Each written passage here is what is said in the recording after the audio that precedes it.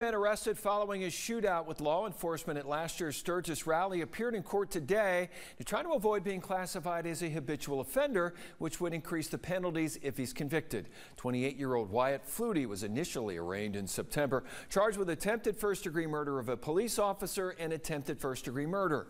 Today, there was an additional arraignment to enhance the charges if he's determined to be a repeat offender.